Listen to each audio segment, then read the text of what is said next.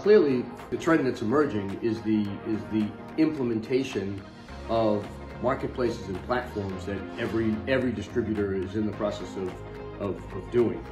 Those those platforms are going to make a major difference uh, and a huge enhancement from a productivity standpoint in how business is done uh, among uh, vendors, distributors, and solution providers. And over time will be game changing, particularly when AI enhancements uh, get added to that.